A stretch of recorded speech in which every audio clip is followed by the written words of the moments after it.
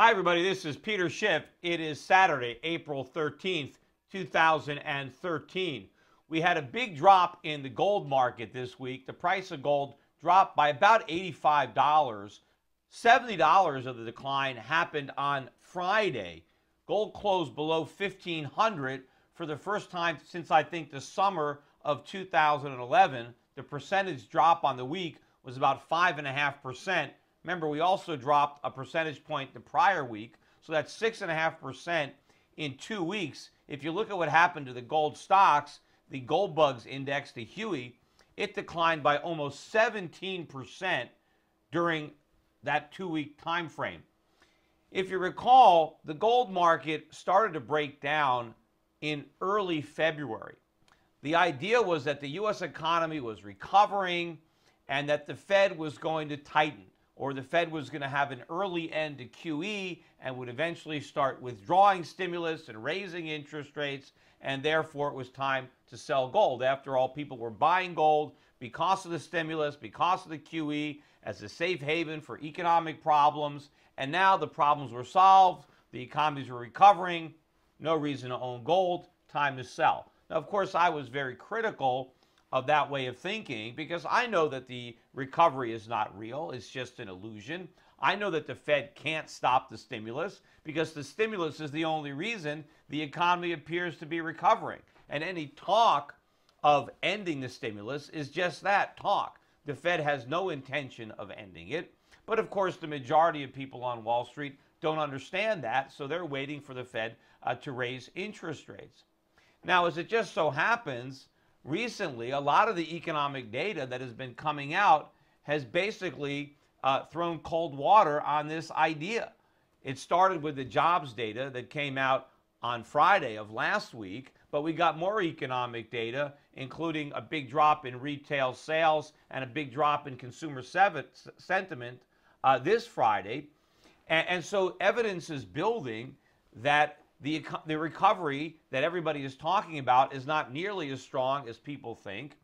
And now I think people are starting to dial back their expectations of the Fed ending uh, QE early. In fact, I think eventually they're going to realize that far, rather than ending QE, they're going to have to step it up. 85 billion a month isn't enough to keep this artificial uh, recovery going. The Fed's going to have to do more. Well, then why isn't gold rallying if that's the case? If gold sold off on the idea that the economy was strengthening, why isn't it now rising uh, on the confirmation or the invalidation of that thesis? And I think the reason is on Wednesday, Goldman Sachs came out and put a sell recommendation on gold. It started to rally on Friday after the jobs came out, rallied about 20 bucks sold off a little bit the following Monday, but then rallied to a new high on Tuesday, and it looked as if the gold price might be uh, reversing. But then before the open on Wednesday, Goldman Sachs came out uh, with a very bold call to sell gold, uh, issuing a sell recommendation. They had a downside target on gold of, I think, $1,250. And I think Goldman said it might take a couple of years to play out, but they became very bearish on gold. They're a they're a big firm. A lot of people pay attention to what they have to say, and I think that caused uh, some selling in the price of gold because of Goldman's call. Now, on Wednesday, on Thursday, the day after that call, we got news that Cyprus, the bailout for Cyprus was going to be bigger than what had been originally discussed, and that the additional funds to cover the cost were going to have to come from Cyprus and one way that they were going to have to raise the money was by selling a good portion of their gold holdings. Now, of course, Cyprus is a very small country, and so their entire gold reserves really on its own wouldn't do a lot to the price, even if they were to dump those reserves on the market. But given the psychology, how negative sentiment had become, particularly in light of the Goldman call, I think this weighed heavily on the market particularly as people start to think about if Cyprus is a template, what about the rest of Europe? After all, what, there are a lot of other countries that may be in need of a bailout, that have a lot of debt, that are in trouble. They also have a lot of gold. What if a lot of these countries are forced to sell their gold. Now you get an avalanche of selling, and people wanted to get out of the way. If people are thinking a lot of European countries are going to be selling their gold, traders want to sell now. They want to front run those trades. Maybe they're thinking they're going to buy their gold back uh, once these, these, these countries sell and drive down the price. And so that's where you got the big selling on Friday. And of course, for technical reasons, once you break down through key levels, you trigger a lot of selling, you get a lot of stops that are hit below the market, you get some margin calls. But if you actually think about the argument, these countries, indebted European countries, being forced to sell their gold is actually bullish for gold. It's not bearish. Now, why would I say a bunch of countries being forced to sell something is bullish for the price of what they're selling?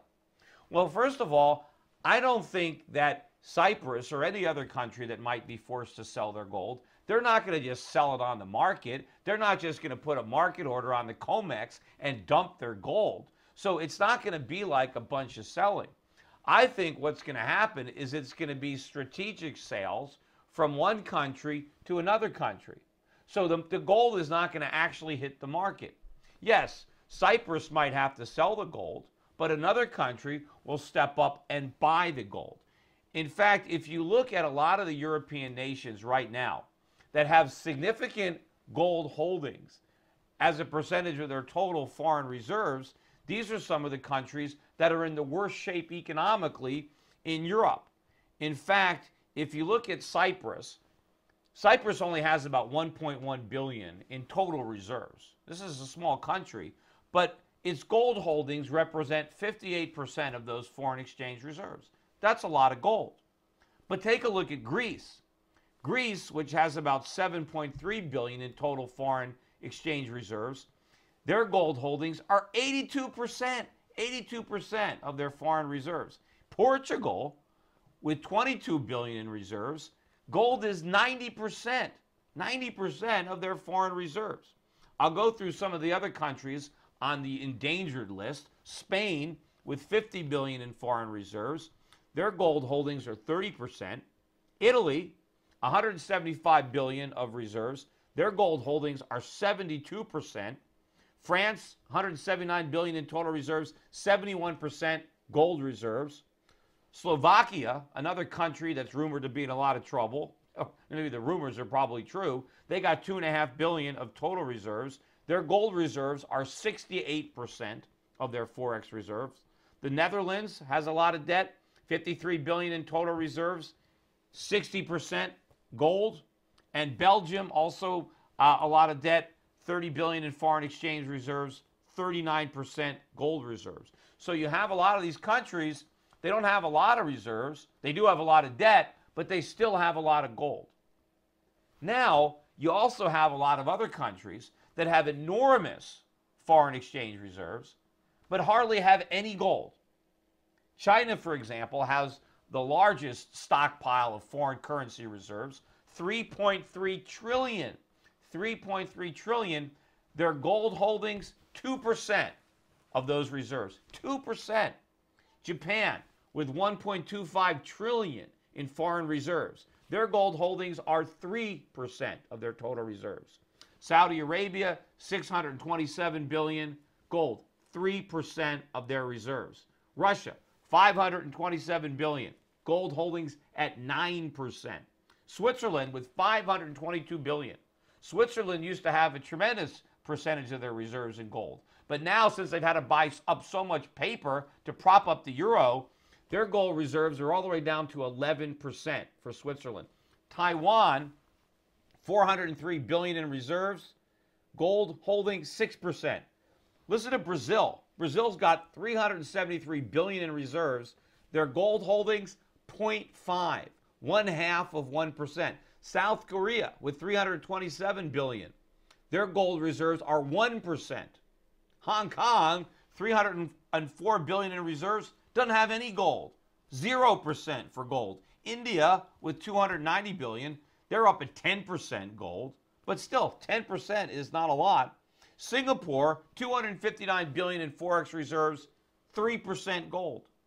Thailand has 179 billion in foreign reserves, 4% gold. Malaysia, 140 billion, only has 1.5% gold. Indonesia, 105 billion, 4% gold. The point is, there are a lot of countries that used to be poor and that are now pretty rich, but they don't have any gold. You have a lot of other countries that used to be rich and now they're broke, but they still got a lot of gold. Now, what's going to happen? Some of the countries that are now broke because they have too much debt are going to be forced to sell their gold. That's what happens when you're broke. You go through a bankruptcy, you have to sell some of your valuable assets. And of course, the most valuable assets that these countries have is their gold. But now you have a lot of other countries who are rich, who earned a tremendous amount of money because they have enormous trade surpluses, lots of resources that they've been selling, yet they've been accumulating paper and they haven't had a chance to accumulate gold. Now, one of the reasons I think that a lot of these countries haven't bought more gold is because they were afraid they would push the price up in the process. And so they've been trying to buy slowly so as not to influence the price. Well, not only does this recent decline give a lot of these countries the opportunity to buy, but if a lot of European countries are going to be forced to sell, that's even a better opportunity for countries like China to take significant positions in gold without affecting the price at all.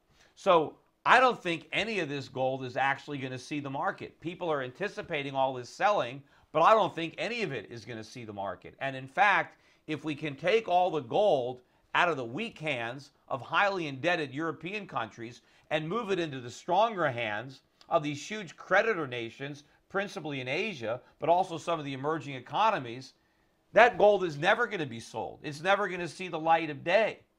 And in fact, that's also a bearish development for the US dollar, which, by the way, the dollar index was actually down this week. So even though gold went down, the dollar went down too.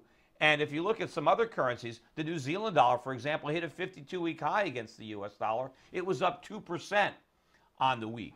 But think about this if countries get an opportunity to buy up European gold, what happens to the dollars? Because let's say if China, for example, were to buy Cyprus's gold, uh, they write it, you know, they're going to pay with dollars. What's Cyprus going to do with the dollars? They're not going to buy treasuries. After all, that's where China had the money. No, they got to spend the money. In fact, any European nation that's forced to liquidate its gold is going to have to spend the money.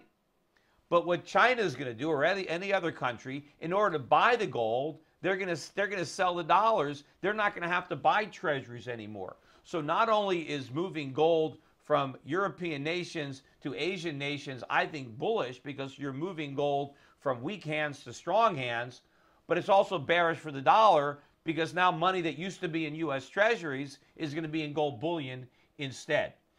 Now, what's going to happen to all the people who have sold all this gold, who were anticipating big selling from European banks, when they don't get a chance to buy any of it? Because the selling never actually hits the market. I think we ultimately get a big rally in the price of gold. Meanwhile, what's likely to happen next week?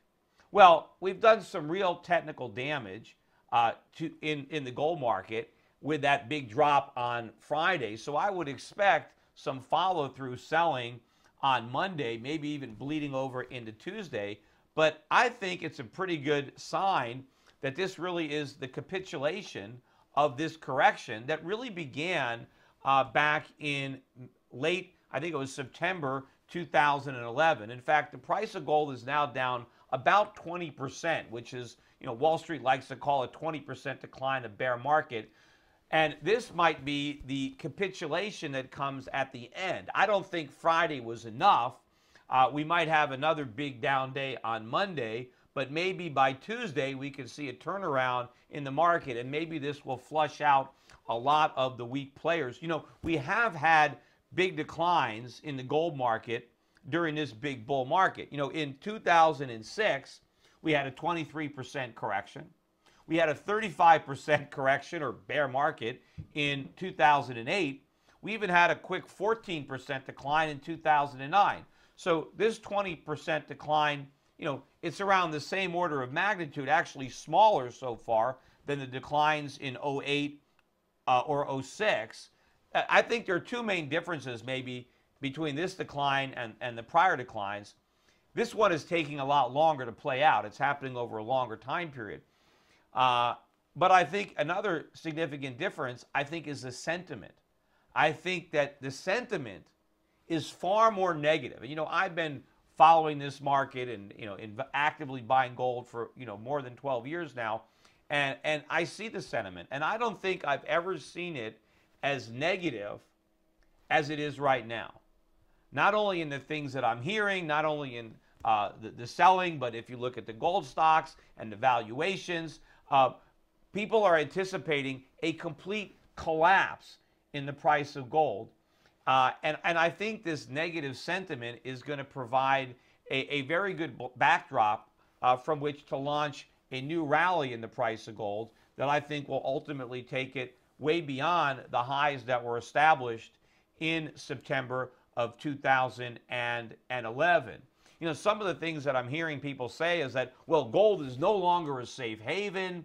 Uh, that's stocks. Stocks are the new safe haven, U.S. stocks. Can you believe people thinking U.S. stocks are a safe haven? That's the safe haven investment buy U.S. stocks. I mean, think about the huge declines we've had in the U.S. stock market back in 2000, back in 2008, but yet somehow now U.S. stocks are the safe haven investment. In fact, uh, yesterday I was watching on television, and one of the commentators on, on CNBC was saying that, you know, Gold is the, the ultimate bubble because it has no value. It has no intrinsic value, and so it's a total bubble. Now, the reason they said it has no value or no intrinsic value is because it doesn't pay a dividend. You know, they're comparing it to a stock, and they're saying, well, it doesn't pay a dividend. Well, you know, there are a lot of stocks that don't pay dividends too. But of course, you know, it doesn't have any earnings either. But gold is not like a stock. You don't compare gold to a stock. You, I, gold is money. That's how I look at it. And I compare gold to other forms of money, fiat currencies. That's your alternative. So you compare gold to the dollar. You compare gold to the euro or to the Japanese yen. Now, does the dollar pay a dividend? No, it doesn't pay anything. If you have dollars in your wallet, you're earning no return. In fact, even if you take those dollars and deposit them in a savings account in the bank, you still have no return. Now, you can use those dollars to buy bonds or buy stocks and get a return on those assets, but you don't get any return on the dollar itself. That's the same situation for gold. But if you want to talk about intrinsic value, to say that gold has no intrinsic value, but the dollar does, it's actually the opposite. It's the dollar that lacks intrinsic value. Gold has it. I mean, you can take your gold coins or your gold bars, you can melt them down, and you have a valuable metal. Gold is desired for its properties, right? You can do things with gold. It has uses, so it has intrinsic value, and of course, it's scarce. It's hard to find it. It's dollars. They have no intrinsic value. I mean, you can spend them because other people will take them, but what can you do with that dollar bill? Nothing.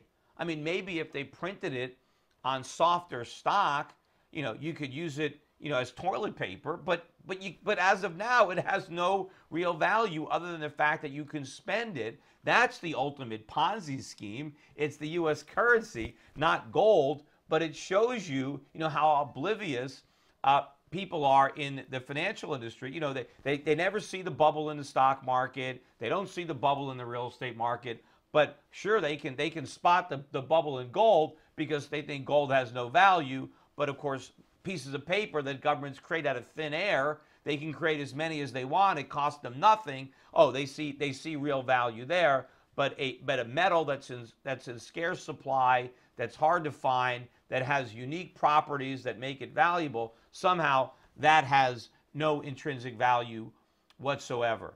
So, in conclusion, buckle up your seatbelts. I'm sure it's going to be a rough ride next week, uh, but don't lose uh, your conviction. Hang on to your gold.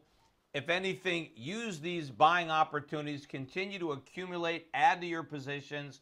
If you don't have any gold, take advantage of the decline in price to buy some gold. You know, I think in the future, we're going to look back at this particular period as perhaps the last great buying opportunity of this ongoing bull market. As I said, I don't know where the bottom is. It probably wasn't on Friday. Maybe it could be Monday or Tuesday, but short term timing is not the important thing here. What's important is to accumulate gold because foreign central banks and the Federal Reserve in particular are going to keep on printing money. The U.S. economy, as I said, is not recovering. The Fed is not going to learn from its mistakes. It's simply going to increase the size of the monetary stimulus to try to produce the recovery, the real recovery that has thus far eluded them. But of course, we know the more money they print, the more damage they do to the economy, and the more money they have to print to try to repair that damage. And of course, they create even more damage, which means even more money printing. They're doing it in Japan, they're doing it all around the world. And this is the best environment I've ever seen for gold. And despite that, despite how favorable the fundamentals are, you also have the most negative sentiment I have ever seen for the price of gold or for gold in general uh, coming from investment professionals. So you have fantastic fundamentals and you have extremely negative sentiment that has all the makings of a huge bull market run. Uh, so don't miss out. Take care, everybody. Bye for now.